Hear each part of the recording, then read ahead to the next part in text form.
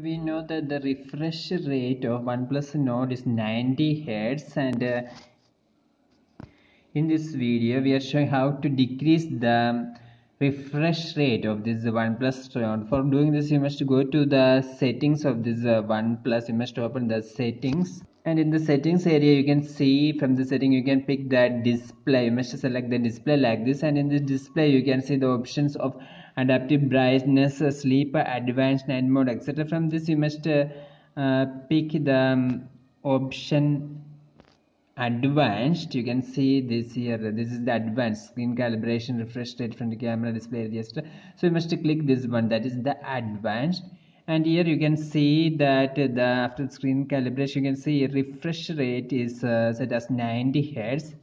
So 90 Hz is the refresh rate of OnePlus Nord and if we want to decrease the refresh rate then we must uh, select this one that is 60 Hz and here clearly mentioned that um, decreasing the rate will be less smooth but the battery life will be better.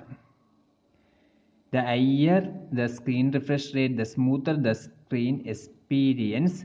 In 19 Hz the refresh rate will be switched dynamically based on scenarios.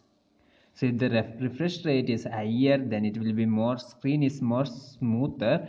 But if the refresh rate is uh, less then the battery life will be getting more. That is what i understood by reading this so you can change the refresh rate from uh, 90 Hz to 60 Hz or if you want to change it back to 90 Hz then you can uh, click the 90 Hz hope you enjoyed this video. For more videos like this subscribe Engineers World Online. Thank you